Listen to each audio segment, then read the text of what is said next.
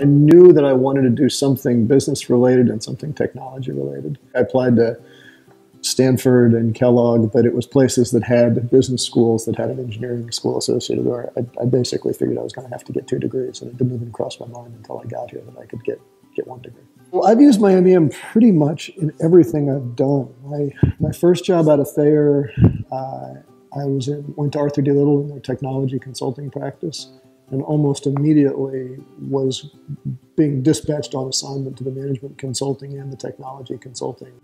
So I did that for a couple years, which I would never have gotten that job, or at least would never have sort of maneuvered in that job without the MEM. And uh, and then two years later, I took over a manufacturing company and have been basically doing entrepreneurial things, running companies ever since.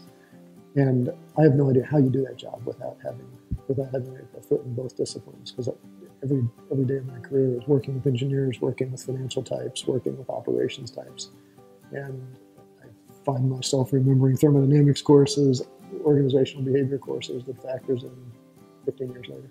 We, we have hired one MEM we've had great success with, and we've had uh, in the last three years two MEM 390 students who've done internships with us. Our, our business, I think, like a lot of businesses, straddles a lot of disciplines, and and you know we need people who will come in and can interface with our operational people to understand how the energy is being used in the plants, what they're doing physically, and then can translate that into a format that the folks at corporate can understand and build into budgets and monthly reports. And there just is a fluency in the terminology having enough comfort to look at a, a model and, and say, I, understand what a rate of return means, I understand what a BTU is, I understand what a kilowatt hour, and I can, I can put that all together and synthesize it into something useful. Um, and you just get that, you get that basic set of tools in the toolbox within